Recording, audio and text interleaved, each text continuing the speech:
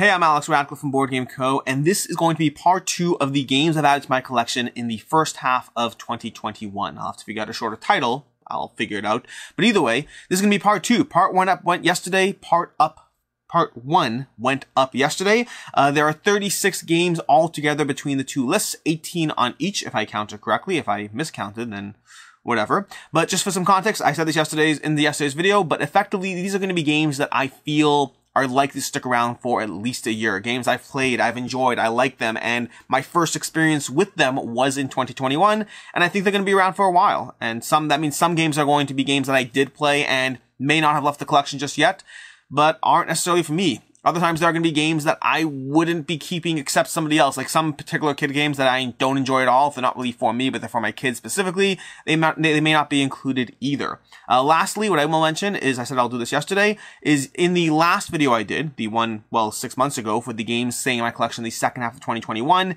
those games, just to cover some what I was wrong about in that sense, I thought Clank Legacy was going to be a game that I fully finished, and that's another caveat. It's either a campaign game I fully finished or sticking around for at least a year. I thought Clank Legacy would be a game that I'd finished. I included that on my list. And sadly, we got like five missions in and we kind of called it a wraps on Clank Legacy. We weren't enjoying it enough to keep going through it just for the sake of finishing it. So I was wrong there.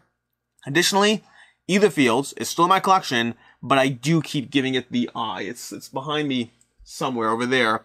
It's one that I do keep giving the eye. I really want to finish the rest of the campaign. I really want to go through more content, but also I have a lot of games I'm constantly trying to table and compared to ISS Vanguard, I'd rather play as ISS Vanguard. So Aetherfields isn't gone yet, but I don't know if it'll make it this next six months. We'll see. If I can table it, then I'll keep it around. If I can't, it may go away. In any case, starting off with number one. Number one's going to be Lords of Hellas. Speaking of Awakened Realms games, that one hasn't left, but we have another one coming in. Lords of Hellas is going to be a game that I reviewed just this past week on Saturday, so you can go ahead and check that out. There's also going to be Lords of Ragnarok coming to GameFound sometime soon. They don't have an official date. Lords of Hellas is going to be an area control game. I gave this one a 5 out of 5. I really enjoy area control as a genre. I would say most area control games I have played fall into the range of either 4s or 5s. The problem is, it's such a competitive space for me in my collection that the fours tend to not stick around. Most fours will stick in my collection, but not if there are other games I'd rather play in that spot. Uh, Lords of Hellas is excellent. I love it. It's going to join me right up there at the ranks of, of we have Lords of Hellas, we have uh, Cyclades, we have Inis, we have Blood Rage, we have Chaos in the Old World. Lots of amazing games that are just delightful to play and Lords of Hellas very much falls into that category. I enjoy this one and it is sticking around. Well, that's not entirely true because Lords of Ragnarok might replace it, but I don't imagine I'm getting rid of Lords of Hellas before I get Lords of Ragnarok, so it's probably safe for a year. Number two, number two, which should have been number one, but I forgot because it's not present in front of me. Number two is going to be a game called Arma. Arma is another game that I had a chance to review. It is a Kickstarter that barely funded. It's basically for a Crokinole competitor, not competitor, but the same vein. It's a flicking game where you're to flick discs around the track. It's a game where I literally watched the creator. The creator sent me the game when he wanted, uh, you know, when he wanted me to cover it. And I said, hey, it looks okay, but I can't imagine wanting to keep this over Crokinole. If you want me to cover it, I'm happy to cover it, but I just, that's my instinctive impression. And yet it is ridiculously fun and so, it's so engaging. It, it is in my collection. I'm very happy I have a copy because it's expensive. It's not cheap. I don't know if I'd pay for it. Full transparency. I don't know if I'd pay the, like the $400 or cost for a board once you factor in shipping and this and that. It's not a small amount of money. That said, I really am enjoying it. Uh, Crokinole and Arma are games that I don't pull out often, but when I do, they provide great table fun for everyone involved. And in the case of Arma, more so because Arma is more of a two-player game, you often have people watching, wanting their turn because they're like, no, no, I can do it, I can do it. And they just get caught up in the flicking of the game. I have a playthrough with my wife. I do recommend watching it. It's, it's, I don't, I don't even know how, how easy it is to get the game, so maybe don't waste your time. I don't know, but it is a game that I thoroughly enjoy. Next up, in no particular order is this entire list, we have Winter Kingdom. Winter Kingdom from Queen Games. This is going to be a game that replaced Kingdom and Builder for me. I don't have space for both in my collection. They both do the same thing too similarly. I would say Kingdom Builder is a game that I li like a lot. It's a game that once upon a time was a 5 for me. I enjoy the variability of Kingdom Builder, but I've also had it in my collection since 2013, I want to say, maybe 2012 even. And so it's a game that I've occasionally been looking at and wondering if it'll stay and how much longer because I like it, but I have complaints and issues. And I would say Winter Kingdom addresses most of those issues in a way that I consider an overall improvement to the game system. I did a play this, not that, of Winter Kingdom versus Kingdom Builder. They're both great games. I would give them the same ranking. They're both fours for me. They're both enjoyable, but I think Winter Kingdom just cleans up some, some dry spots of, of Kingdom Builder. And it's a game that I have found more importantly, it's a game that I have found others more willing to play Winter Kingdom than they have Kingdom Builder. And then we have Merchants of Magick. Merchants of Magick is a delightful game. I actually just watched Tom Vasel review this one. I reviewed this with Rena. We both gave this a 4 to 5. I watched Tom's review. Tom's review is he likes the game mechanisms, but he finds that the luck of the draw can be hugely impactful in terms of if you've built up a system and then you draw certain cards that reward you for that system, you can just win the game just on sheer luck. He's not wrong. He's completely dead on. We talked about this in our review. We said what you can see not liking, and we talked about the luck aspect of the game, what we can see others not liking.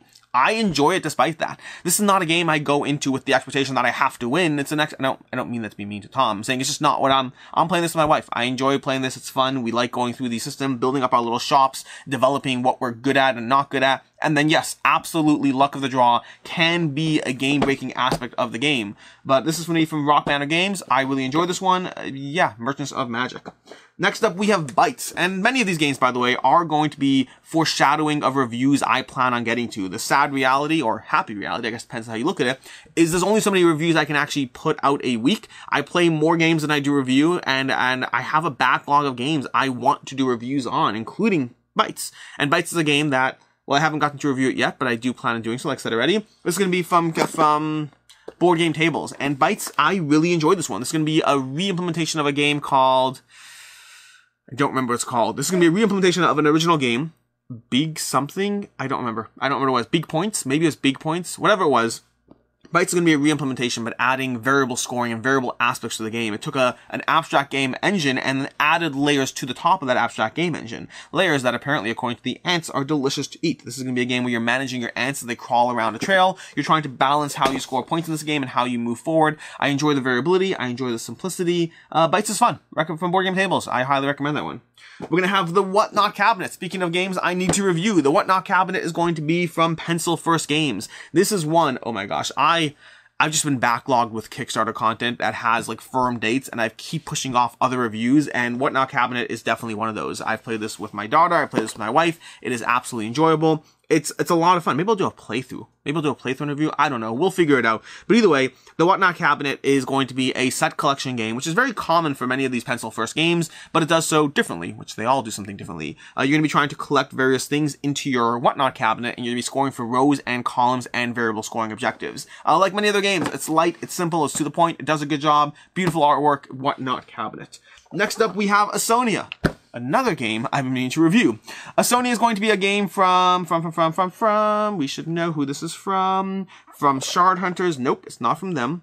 It's from Lycan, Lycan Studio. That's who it was. Ausonia is going to be a deck builder. This game completely fired uh, Star Star Star Realms and Shards of Infinity for me. Although Star Realms was fired by Shards of Infinity, Shards of Infinity was fired by Ausonia, and it doesn't mean a game has to fire each other. But I find these lighter deck building games that are very good at two player and a little bit worse at higher player counts, I find I don't have room for that many in my collection just in terms of playtime.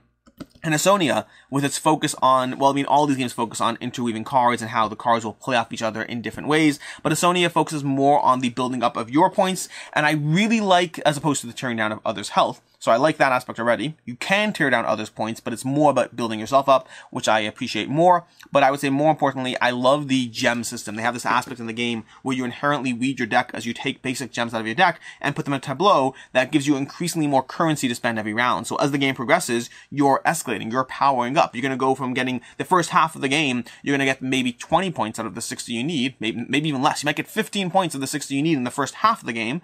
And the second half of the game, you'll get a lot more. The game ramps up as you start building up a tableau and as you can do more and more each turn. I do have a plan on having a review of this coming at some point, a playthrough and review probably as well, because I like playing it, and so we'll see, but that's going to be Ausonia.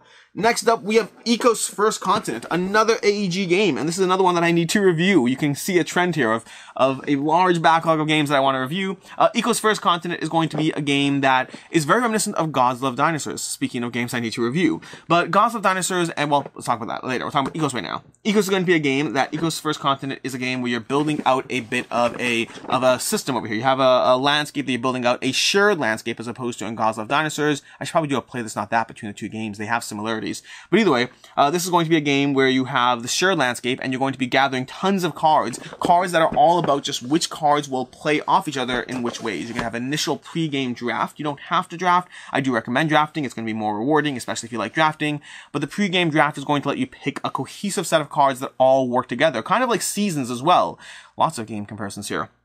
But yeah, we're going to be trying to figure out. So you might have a card that, you know, gives you three points and then adds a certain type of animal to the landscape. But then you have another card that will give you points plus get you ex- extra points for each one of those animals added to the landscape. But you're all working on a shared, shared landscape, which means the things other players do affect you in different ways. It's all about the combination of the cards you get, the combination of the cards you'll get in the pre-game draft, as well as as you go through the game. Again, it has a lot of similarities to Seasons 2. Seasons and Gods Love Dinosaurs. Honestly, if Seasons and Gods Love Dinosaurs had a baby, it would be called Ecos and I like that baby a lot.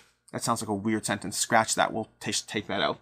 Next up, we have Black Rose Wars. Now, this one I have not had a review for yet because I need to play it more. That's not, it's not a lack of time on this one. It's not a lack of review space. It's a lack of playing this game more. Black Rose Wars is a game that is delightful, but I've also only played it like twice. I played it. Uh, I had two games of Black Rose Wars. Not enough to give a comprehensive review on this one, especially given the amount of ways this game can play out. Uh, so this is one that I want to play it more, but I currently am enjoying it and I anticipate it being around. Like, like, uh, Lords of Hellas, it may be fired by Black Rose Rebirth, which will be coming to Kickstarter soon. So once I get Black Rose Rebirth, I make no guarantees I'll keep Black Rose Wars. The miniatures are amazing. The cards are amazing, but the sheer amount of content I have, I don't know if I can justify owning both. I will simply never play that much content. Just, it's just a fact. I will never play that much content. I can say that even about what I have, let alone getting more for the Black Rose Rebirth. So I imagine I'll only end up keeping one. I'll keep whichever one I prefer most. In general, when it comes to new games versus old, I think I generally have leaned, mm, I don't know if that's true.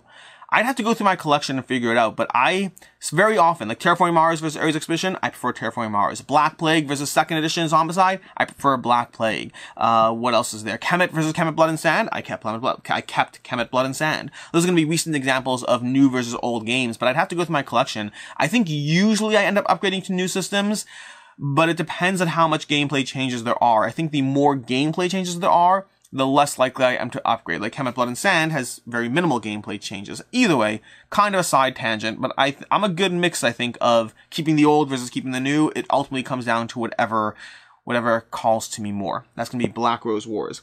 Next up, we have King of 12 by Lucky Duck Games. Lucky Duck Games had Destinies on my last list, and this time they have King of 12. Uh, yes, last yes, meaning yesterday's video. King of 12 is going to be a light game. This is a 3 out of 5 for me. I enjoy it. I do not love it, but it makes me, it, it makes me laugh every time I play it. Literally every time I play this game, it's just laughter, because what you're going to have is box on upside down. Of course it is.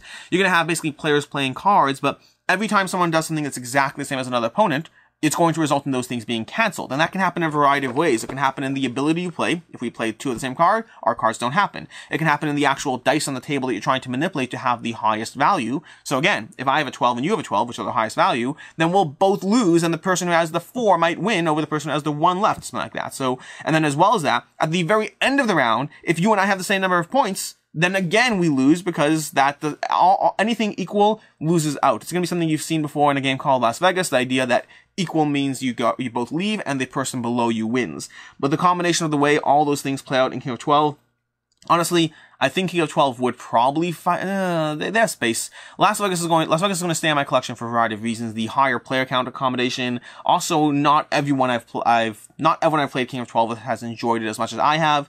And so Las Vegas has a little bit more general appeal, I think. But I really like King of 12. Again, it's a simple game. I don't, I can't, I, it, it's good. I enjoy it. I would not lose sleep if it was gone. But every time I do play it, I, I like it. And so for right now, it fills that great filler slot in my collection. Next up, we have Bullet, a game that I have had the chance to review. Some of these I actually do get to review. Uh, Bullet's going to be a game from Level 99 Games. It's going to be a, I think it's called a shmup. Shoot shmup. Shoot him up. Is that what, is that what shmup is? Shoot him up? I don't know what a shmup is, but I think that's what, I think that's what the term is. Shoot them up. That's what it is. A shoot them up is a shmup, I guess. Maybe, I don't know. But Bullet's going to be an arcade style game where you're basically dealing with a puzzle of, of you have these bullets kind of entering your grid and you're trying to send those bullets off by trying to collide them or set different patterns. You have unique players with unique variable powers. Again, I have a review if you want to see a full how to and all that stuff. But the fun part is you can either do it solo, which I, I didn't like playing solo. Solo versus the boss I did like. And my favorite mode is playing it competitively. Ultimately, any form of solo play. And I think I'd rather play Under Falling Skies. Less chaotic, more planning, which is my preference. The, the random nature of having your planning go well and then just something random happen in a way that kind of ruins your planning. I don't love that in Bullet. Now, when you throw in the competitive play aspect where the bullets that I destroy get sent to your opponent, well, now we're talking a whole different ballpark. Now it's a whole different kind of game. And I really enjoy the competitive aspect of Bullet. Lots of fun to go through it. Like many games on this list, it's a game I need to play more often, but I really like Bullet from Level 99 Games. Next up, we have the Grand Carnival. Now, this one is a bit risky to put on this list because I'm actually not as certain as I should be about whether this stays in my collection long term or not. This is a game that was recommended to me as a game that is Bärenpark but better, and I understand why anyone would say that while not necessarily feeling that way myself. I need more plays of the game to be very clear. The back won't show you much over here, unfortunately. I need more plays of the game because the game itself is a lot of fun. It has a polyomino aspect to the game, and one thing I really like, it has a little bit of an of a, like a roller coaster tycoon aspect where you feel like you're building out your theme park. You're going to be building out various grids that are going to define both the pathways of your park as well as the building areas. And then on those building areas, you're building the polyomino tiles, which are the rides. And then you're sending guests and visitors through your park, trying to have them stop off as many rides and get various tickets and goals and all that. My biggest problem with the game is going to be a weird problem to have. Like, I want an expansion for this game. I want an expansion a lot. And I will have a review coming, or maybe a play that's not that with Bärenpark. We'll see. But my biggest problem with the game is that I feel like my early games I've scored too well. I think I'm playing it correctly. I've read the rules again. In general, I try to do that after a game, but I'm, I'm pretty sure I'm playing correctly, but I feel I scored too well. Like, I don't feel like I'm uh, struggling to try to get all the various points. I'm getting a lot of points in a lot of different ways, and there's gonna be various goals as well. The various goals don't give you points like they do in Bärenpark, but rather the various goals give you abilities, which I do like that. I like the unlocking of abilities in the game. But again, I, I, I just don't feel challenged enough by the game. I mostly feel I also I have won every game I've played, which is unfortunate. I don't love it when that happens. It takes away from the challenge. But I, I, I want to play this more. I feel like I really want an expansion for this game. I want something that adds more variability or interesting things to the mix. As of right now, I enjoy the game, but the reasons to keep playing it often come down to those ability cards. It often comes down to seeing which new abilities are going to come out that again give me different ways or pathways to try to build out your your engine in this polyomino tile laying game. Really like it. Long term, we'll see, but I think it, I think it will stick around. I wouldn't put this, on this list if I wasn't, if I didn't at least think it'll stick around, and that's why it's over here. That's going to be the Grand Carnival. We got more to go through. We're going to have Paleo. Paleo, a game that I recently put on my top 10 games of 2020 list. Paleo is a game that was definitely a surprise to me. I, I'm not, that's not true. I don't have to define a surprise. It's a game that I got because of the high praise for the game. I wouldn't have got this, well, the art looks great too. I, I am pulled in by the art. So Z-Man Games, Paleo, I was pulled in by the art the high praise for it, but then it kind of sat on my shelf languishing, just unplayed, along with too many of its friends that don't get enough attention. And then Jeremy Howard mentioned this in a video, and he said, "Oh, have you played Paleo?" to to to Jesse Anderson, to Quackalope. And I was like, you know what? Neither of them have played Paleo. I'll pull up Paleo and give that one a shot. And so I did and I really like it. I actually played it with Quackalope, and both of us have been really enjoying going through it. It's a lot of fun. You're basically building out this uh, caveman Neolithic civilization, and you're trying to overcome the various hazards that life throws at you. And hazards in this case isn't like my Wi-Fi stopped working, although that is a nightmare, let's be honest, but rather it's going to be what saber-tooth tiger is attacking you. And I know which one, I know which one of those is worse, but let's be honest about which one sounds worse. Just no Wi-Fi. I don't want to think about it. Either way, once you overcome the no Wi-Fi card, the, the, the caveman, troll, whatever, uh, Saber-tooth Tiger card, that's the one. Once you overcome the Saber-tooth Tiger cards out of the deck, so you're gonna have to give up life and resources and energy to deal with these hazards, but it makes for a cleaner deck. If you don't deal with them, then it slowly pings away with you and keeps coming back. It, it results in an interesting kind of reverse deck building challenge that's a lot of fun to go through. I really like Paleo. Uh, there's modules once you start getting the hang of it, so those modules give you another reason to keep diving back in. Really enjoying this one. Next up, we have Antike, which is kind of a cheat because this is I love Antike Duellum. Antike Duellum is a game that's been in my collection for a long time. It's a great two-player area control game. It's one of the it's one of the few two-player area control games that I easily and heartily recommend. Whenever I say heartily, people ask if I said hardly. No, I heartily recommend. I should probably just stop using the word. It's safer. Antike is going to be, well, this timeline here, if I'm not mistaken, is we had Antike, which I never played. Then we had Antike Duellum, which is the two-player version using the Antike system. And then we have Antike 2, which is the iterated version of Antike, taking some aspects of Duellum into the game. I, I think, I could be wrong with the timeline, but that's what I think the timeline is. What I can tell you is I've played Antike Duellum and I love it and it's still in my collection. And I've played Antike 2 and I love it and it's staying in my collection. This was one that was on my shelf for a long time. The reason it was on my shelf for a long time is I got it because it was Antike Duellum but with more players. That's great. And I never really played it because Antike Duellum is so good at what it does that I didn't think it would work as well with more players. And to a certain extent, it might not. The raw simplicity of the game. It's an area control game where you basically have a rondel and you're going to be choosing different actions and everything you do, similar to games like Concordia from Mac Gerdts, he has this general system in his games that everything you do is gets makes your system more powerful. So you want to do X so you can do Y more powerful. But if you do Y, X will be more powerful. Meanwhile, if you do Z, X will also be more powerful. So you're constantly trying to build up the sequence of the ways you grow more powerful in ways that are faster and better than other players. And Antike Duellum is raw and streamlined and simple and head to head. Antike 2 does allow for the possibility of the way players making decisions can negatively impact your own experience of the game. In other words, I may feel like in Antike Duellum, it's simply a question of who did it better. There's like no luck in the game. It's who did it better. Uh, in Antike 2, I could easily make the argument that, oh, I had a really good engine, but then, you know, John attacked you when he clearly, John attacked me when he clearly should have attacked you because you were clearly the stronger player. And then you can feel frustrated with the fact that you built a better engine, but you got targeted by the wrong player. So it does allow for that possibility. That said, we're still enjoying it. And yes, we've had debates about how the fact that, you know, that person should have attacked that person. We have absolutely had those debates when playing this game, but I still really enjoy it. And I would argue that the social element of having more players at the table does overcome the slight decrease in the gameplay experience that it provides. That's going to be Antike 2. Then we have Fairy Tale, or Fairy Tale Inn more specifically. This is going to be a command game that is light and fun and simple. Fairy Tale Inn is one that, this one I kind of question its longevity, but I think it'll stick around for at least a year. It really needs more characters in the box, which is something that others have said, and I think it's true. This is basically going to be Connect 4, the designer game version of the game. Uh, you're going to have a little kind of grid, and you're literally dropping tiles into that grid. The difference is, unlike Connect 4, you're not trying to connect a pattern of 4, rather you're playing with different uh, tiles, with abilities, and now I place my tile here, this happens. If you place your tile there, that happens. And it's the way you place those tiles down at this grid for both in-game and end-game scoring that result in an interesting puzzle that takes something very familiar and makes it different. This is a great game in the sense that if you have children, if you have kids, if you have people who are going to result, like, like a common problem I have with my kids is my daughter loves many of the gamer games we play. But then she has friends who know Monopoly. So she's not a snob, fortunately. I'm a bit of a snob. She's not as much of a snob. She plays Monopoly. She enjoys it.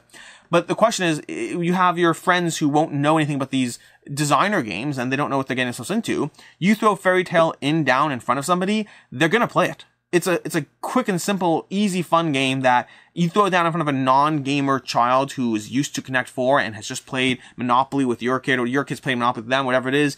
Fairy Tale Inn is appealing. My daughter has successfully played this with a bunch of her non-gamer friends, and they like it. It's pulling them in because it's something familiar with Fairy Tale characters, which are familiar, combined into a game system. I, come on, this is not my favorite game from you by a long shot, but this may have been one of the best things you've ever done for the general gaming space.